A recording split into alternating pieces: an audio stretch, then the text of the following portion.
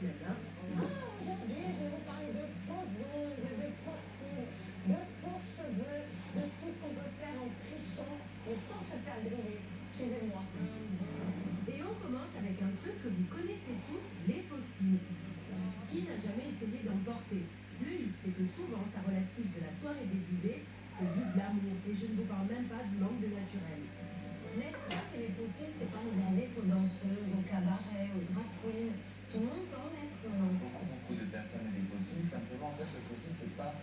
Pour donner un côté glamour. Peux mettre un fossile pour donner un côté un peu plus euh, structuré à ton œil, pour étoffer le cil, pour donner plus de volume.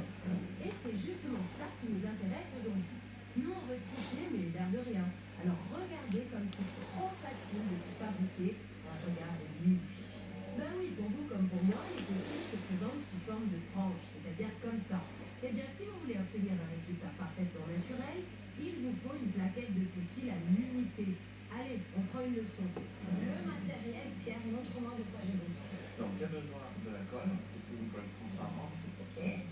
La pince à alculer.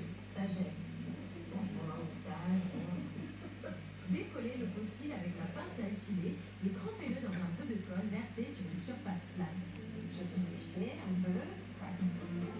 Rapproche de la glace. Tu décolles en fait la tête vers l'arrière et tu vas donc il devrait quand même. La tête bien en arrière pour dégager la paupière.